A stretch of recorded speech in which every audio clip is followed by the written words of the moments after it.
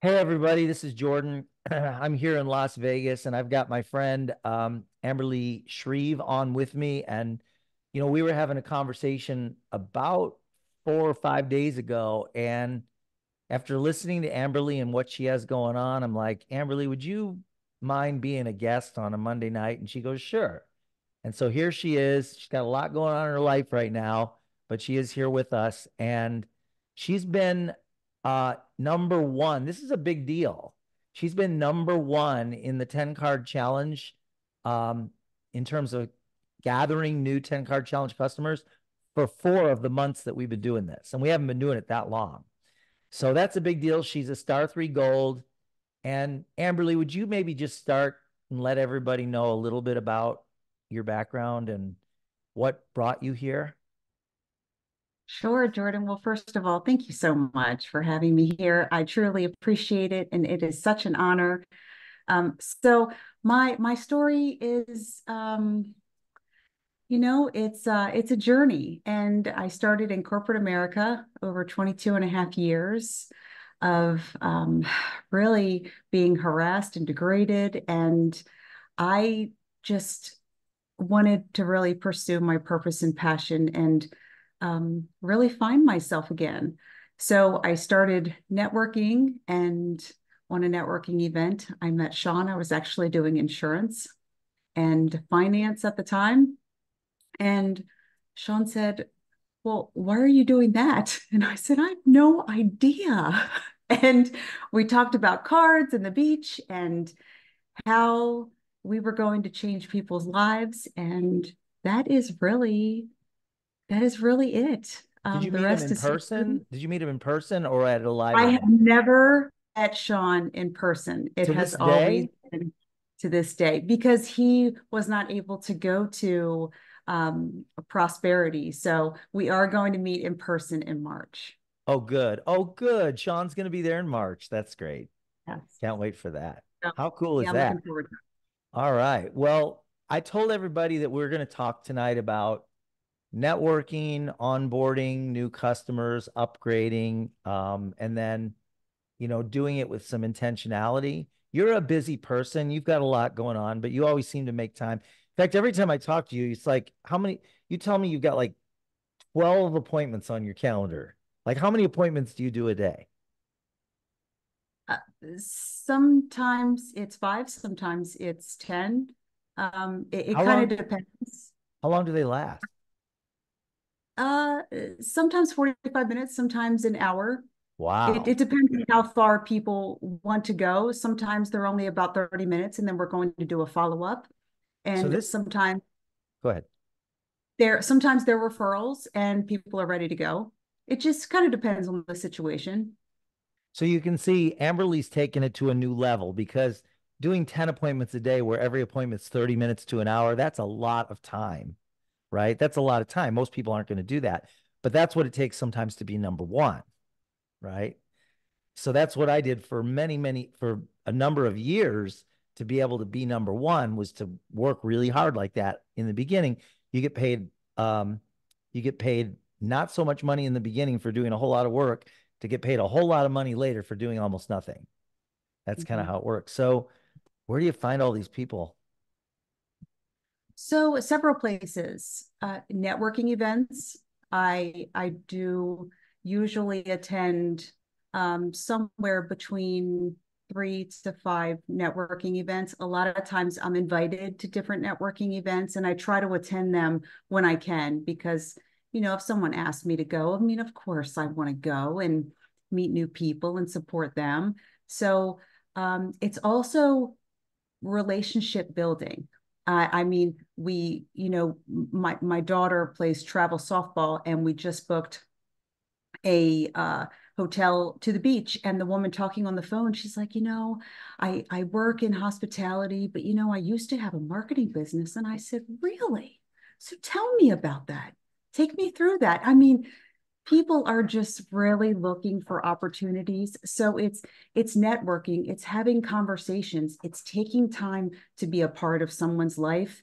And it's not in any particular area. It's not just alignable it's not just linkedin it's not just social media. It is you taking the time to really connect with someone and love on them and show them that you actually truly care about what's going on in their life.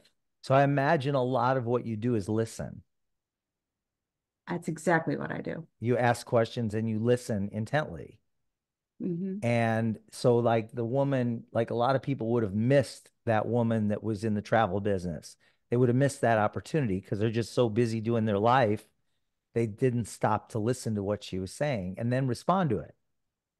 Absolutely. And Yeah. I have really um, taken anticipating people's needs to the next level. So I am I'm very very good at um, not only listening but hearing the challenges and being able to act on those and say, okay, well let's talk about that a little bit and take me through that journey because that is that is the way that you can break things down and really figure out how you can bring value to this person. Let's say you met me at an, an online alignable event and we have this conversation that goes really well. Um, Mhm. You've learned a lot about me. I've learned a little bit about you. Uh, you you've decided based on what I've said that uh, that the 10 card challenge would be perfect for me to take. Do you ask me right then, or do you set up another appointment to do it later? Or and what do you say? I would ask you right then. What would you say to me? I would say, hey, Jordan, you know, based off of what you've what we've talked about today, I, I would love to show you an opportunity of a gratitude challenge that I'm running right now. I think it would truly bring value to your business. And here, let me show you, let me demonstrate what this would look like for you. And So what what do you demonstrate at that point? Um, I if we were in person, I would just show you on the phone, or if you know if we if a computer was available, of course. But I think the phone is much easier. I Uh-huh. think it um really sparks curiosity and it uh I mean for people to just look at a phone and be able to send a card, that's that's uh you know it's it's not every day that you look at someone's phone and you're able to send a card from your from your cell phone. So do they watch you send a card or do you have them send a card? No, we usually do it together. They usually send it, but I will help them walk them through. Okay, so you might even say, let's get you set up. It's 20 bucks, and then I'll walk you through sending your first card. Hmm, very simple. I guess it depends on the situation and Yeah. and you, once you're in, you kind of get in the groove and you, hey, you know, let's let's go through this together. I think this would be an an incredible opportunity for you. Or here, let me show you how easy it is. Because anybody- it really is. I'm very If anyone has questions for myself or Amberly, drop it in the comments. I'm kind of watching the comments here, but as we're going through this, if there's something that she that you feel like would be helpful for her to share based on what she's explaining here, um, drop it in the comments and uh, anything that you think might help you. Um, I believe Amberly, and you tell me what you think. I think anyone can get two a week. Absolutely. It's just having a conversation and it's it's listening, it's it's sharing, it's building a relationship and it's meeting someone's needs. That's really some- what it is. And then also you've got to put yourself in situations where you're around new people. Absolutely. Yeah. And so and I want to be clear, you know, the meetings that I have each week, these are not just 12 meetings a day. It's hardcore in, you know, Shreveville. I mean, that's real, that's not how it is. I mean, I Callie talked to me last year about time blocking and making sure that I was intent I was very intentional because I was overwhelmed. And in order for me to provide um, a, a, a space where I'm able to grow and be able to take the breath, I, I do have to be very intentional with my time. So there is a planning day, you know, in the afternoons, there there is strategic planning, what I'm doing that day, follow up, and all of these things, because I mean, it doesn't stop. How do you People are constantly How are you staying organized? How do you remember people? Okay, so that is a great question. And believe it or not, um, I use several things. Number one, I have a very good memory and I remember each Mm. and every person. Wow. I don't know how I do it. I really don't, honestly. I don't know either. Because I remember I, I remember hardly anybody. Yeah. So I also write down all of my people for my 10 card challenges because you know I I'm I'm not gonna remember all of those people to follow up. So I I want to make sure. But if I have met someone and I need to follow up with them, I remember who I need to follow up. And then I keep a paper calendar. And I do that on purpose. A lot of people like digital, it, it's all in what you like. It just, it's easier for me to keep track of those things. And then when we do a 10 card challenge, I will highlight um, that particular person. They will go on the list. If it's a package, they will have a highlighter for another one. And then that gives me um, an opportunity to put them in my calendar to follow up for for um, additional packages and things that I need to send to them throughout the year. This is helpful. So, um, you are you are you using old school um, systems for keeping track, and there's nothing wrong with that. It works for you. Mm-hmm. You know, you can mm-hmm. do that. You can make lists of people, and you can use highlighters, and you can write down what they bought and when you need to follow up with them next, and you can keep that in a journal or on a notepad. That's uh, there's nothing wrong with that. Um, in fact, sometimes I think it's better than doing it online because a lot of stuff we put in our online systems kind of disappear. They kind of, you know, so I want to answer a couple questions that people have. And if you want, if you want to chime in on any of this, let me know. Uh, sure. Carlene asked, um, so do you have them send a free card on your account or do you have them open their own account on their cell and then send their card? So they will open their own account and uh, typically I don't have people send their their free card. I I will if they're if they're brand brand new, but most of the people that I'm meeting with, they they're excited to to participate in the 10 card challenge. Um, so I'm gonna... not finding a lot of people that are just doing the free card. Yeah. So Carlene, what and I, that's what I would have said same thing is like I want to get them set up on the 10 card challenge. It's only 20. Mm-hmm. dollars It's not mm-hmm. like they have to think about it. Either they're in or out, you know, either they want to do it or not. And most people say yes. Exactly. And, one, and, and then you, get, yeah, go ahead. Oh yeah. I was just going to say that in order for them to um, have a routine, it's really important, especially someone who's new, you need to get a routine down of being able to send cards and get really familiar with the system because if they are not all in and in love with the system, then typically they do not continue. And that's the piece is once you really show them they have a routine down, they know who they're going to reach, they they understand the concept, then they're really going to touch a lot of people's hearts and their lives. And that is the importance through all of this is relationship building and um, serving and helping others be an expansion of themselves. What do you, you know? what do you ask them or say to them uh, to decide who to send their first card to? So I typically choose a loved one. Um, and if they don't have that particular person in their life, I will say maybe a client that you just sold recently or someone that you've had a meeting with that maybe are on the fence and this might be the the card that says hmm, maybe i will do business with yeah. them i think maybe your easygoing style probably helps too well so, i mean we're we're just hanging out and we're we're talking and we're having a conversation and i'm learning about the other person yeah yeah i think um, because you're a listener and you take time with people and they know you care that, that that's another thing. They're more likely to say, "Yeah, let's do this. I want to do this mm-hmm. with you." Uh, Tim Stone asked the question, and I'm going to answer it, and then see if you want to add anything. Um, so he says, "The first time you meet somebody, is that too early to introduce the 10 card challenge?" And I, my answer to that would be, it, it depends, but probably not. Like it, mm-hmm. it's definitely not too early, but a lot of it'll have to do with the relationship you build with them in the time that you're talking to them. So mm-hmm. if you're bringing the 10 card challenge to them and you have zero relatedness with them, they're probably going to turn you down or start asking a million questions. But if you have a conversation with them and ask them questions and really listen and see see in that in that dialogue what needs do they have that could be fulfilled by through our philosophy and our program, then they're going to be yes, sure. Any thoughts on that?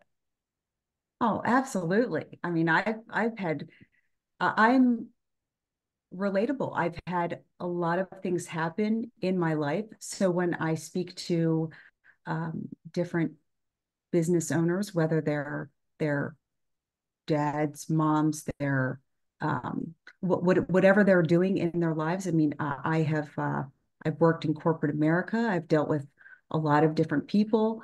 Um, I've worked in construction, so I, I there are tons of people that um, you can be relatable to if you give yourself the opportunity to listen to them and just understand.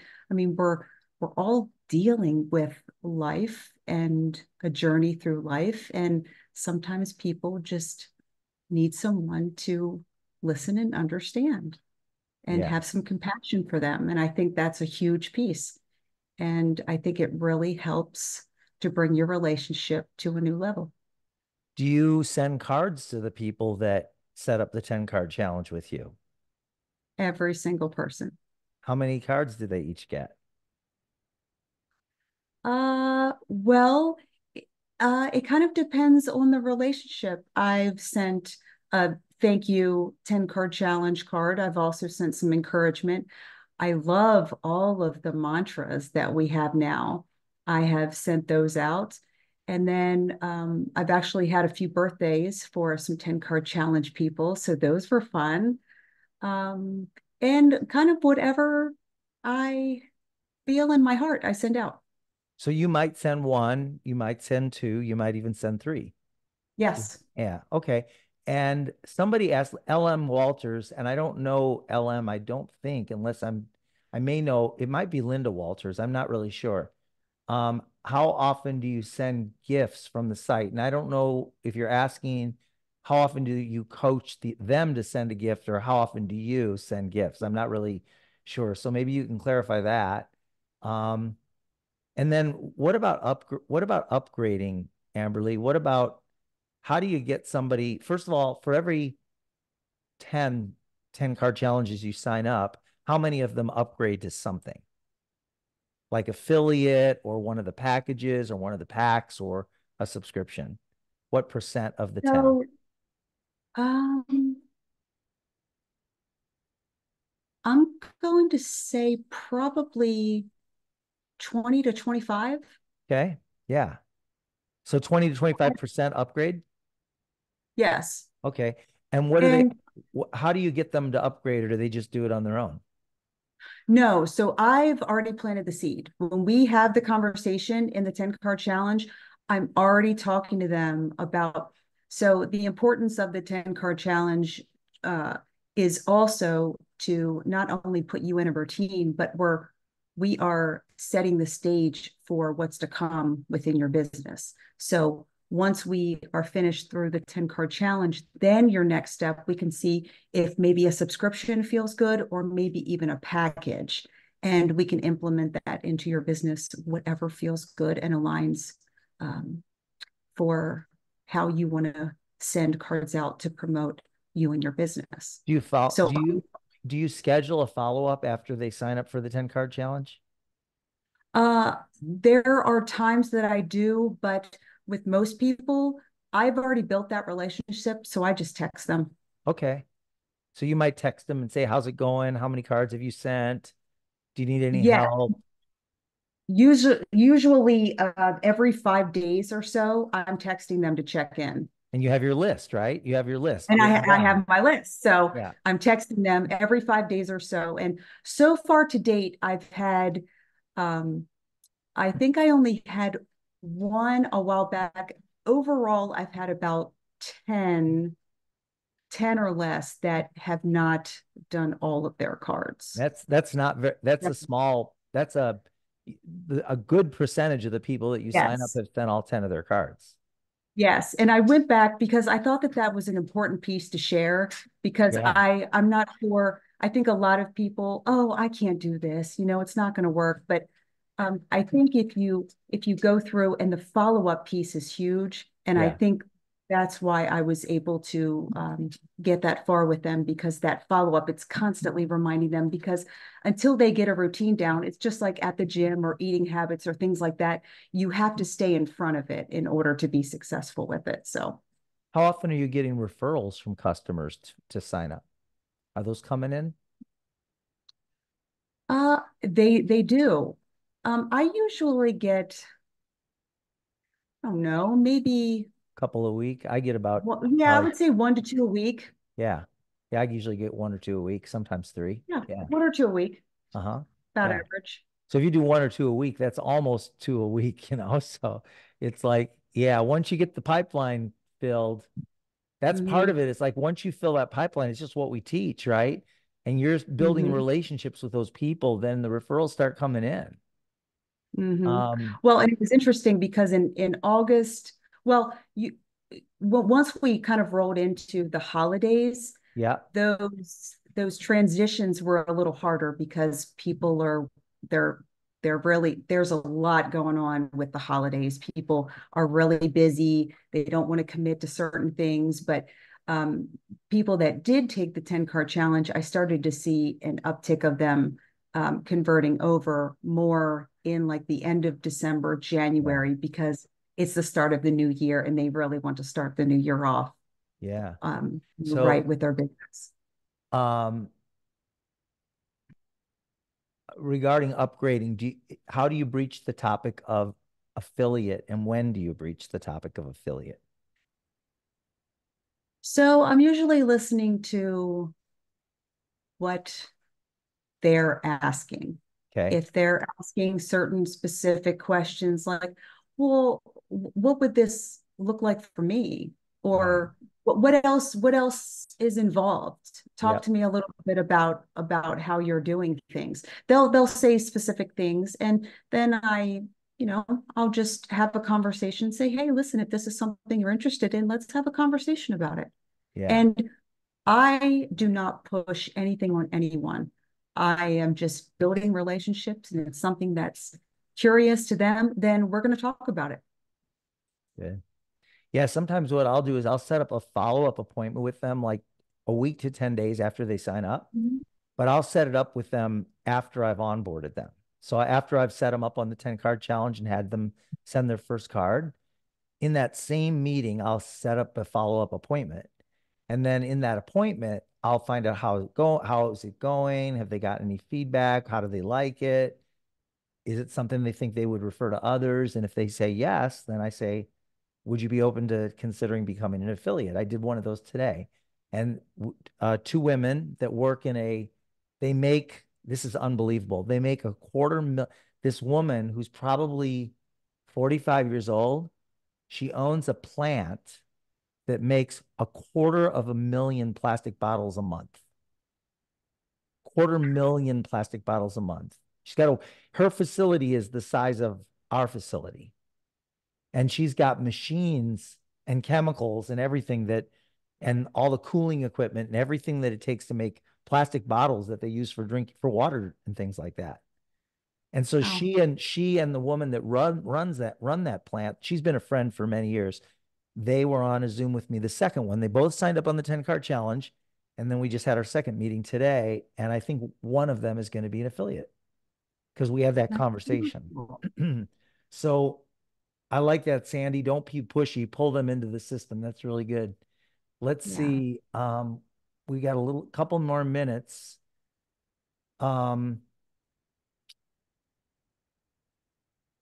how how um how proactive are you in terms of managing people? Like, are you managing them or are you just like do you just send somebody a link and hope that they sign up or do you want to be with them when they sign up does that matter so i do both so there are some people mm-hmm. that need a little um, extra attention and we will go through the system, which which is no problem at all. And then I have some people that will contact me and they'll say, "Am, just send it over. I'm good. I, yeah. you know, we we've talked enough that I'm if, if I if I need you, I'll reach out." So I've had both. What about so so uh, along the same lines, what about affiliates? When you sign up a new affiliate, do you just get them plugged into the system? Do you have a system of like how how how much micromanagement do you do on your team members? I do not. Okay, good. Tell me why. I do not. No, because if they're an affiliate of mine, I have taken them through the system. They know every aspect of the business, and it is up to them if they truly want to make this work for them. Now, I am always there. I check in and I do check in with, with, with every single one of them. I absolutely do. And we have a, a group um, chat and some other things that we do to stay connected with everyone so that we can all support each other. Um, but no, I do not micromanage my team. Yeah. So like, for example, how many, if you, if you had people in your organization like Amberly and Sean, how much hand holding would you need to give them? How much, how much, how, how, how much guidance would you need to give them? Ver, ver, it, it's like if you have a group of people, let's say you have 10 people that all need you really bad versus two people like Sean and Amberly that are just going to go out and do this. You know, you want to be there and be available to anybody who needs help, but there's no way somebody's going to make it in the business if they need you to do it for them all the time. Mm-hmm. And you, you can't need, do that. You can't.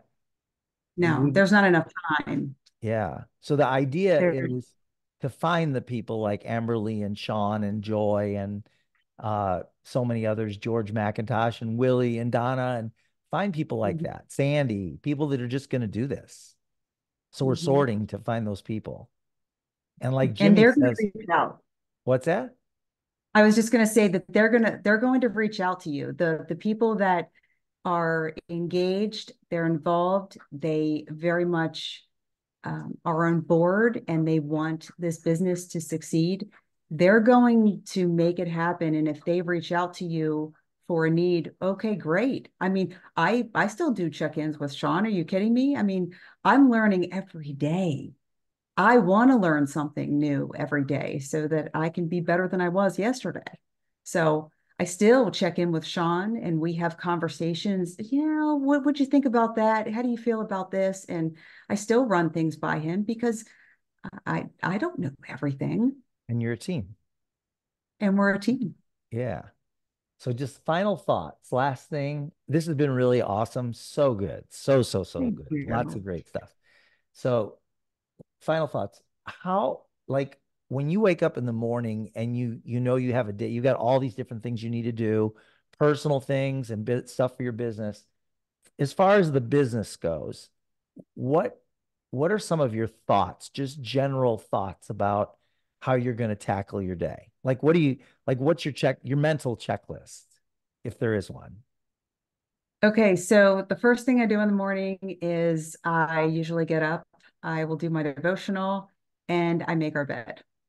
Okay. And then um, I will come out and I try to do my list of things to do the night before so that yep. way I'm prepared because you know we have we have kids that are in school so there's a lot going on there's a lot of lunch packing and all kinds of things happening in the morning so um, I, I typically have a list and I like to check the boxes because that's how I am so I make sure that I it's it's and it's almost it's it turns into kind of like a game like yep i'm going to check that one and i'm going to yeah. check that one and that's done and that's done and it becomes very um enjoyable you get and as flow. you through your day yes it's it's a easy flow and i make sure that i that my list is done as best i can each day i mean do i get everything done every day no i don't right it's it's just not humanly possible sometimes yeah. but i get pretty close yeah. And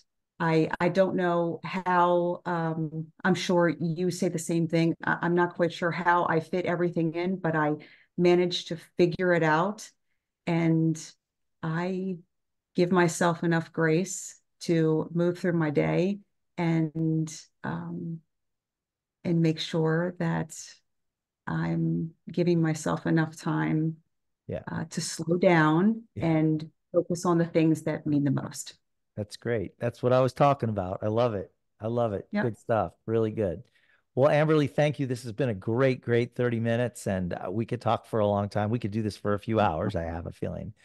So it was excellent. Uh, thank you for that. Everybody I know appreciates it, and I appreciate you. And you're a great leader, and you're a great business builder, and a great person. And I love working with you. So Thank you so much. It's always a pleasure hanging out with you. Thanks. Everybody have a great week. Uh, if you need anything, drop it in the comments. Let us know. We'll talk to you soon. Thanks, Amberly. Have a good night. You're welcome. Good night. Bye.